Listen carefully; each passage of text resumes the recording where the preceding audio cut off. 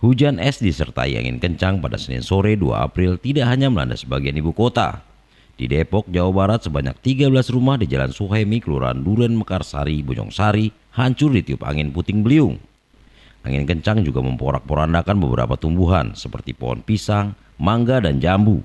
Bahkan sempat melumpuhkan arus lalu lintas dari Bojongsari ke Pengasinan. Hanapi, 39 tahun, warga RT 02 yang rumahnya juga mengalami kerusakan berat mengatakan angin kencang datang bersamaan dengan hujan es sekitar pukul 4 sore. Angin sempat datang dua kali yang bertiup dari arah selatan dan berlanjut bertiup lebih kencang dari arah barat dan utara. Tidak hanya rumah, padamnya aliran listrik memaksa warga secara swadaya membentuk tim siskamling untuk menjaga dari hal-hal yang tidak diinginkan. Dari Depok, Angga Pahlepi, Pos Kota TV melaporkan.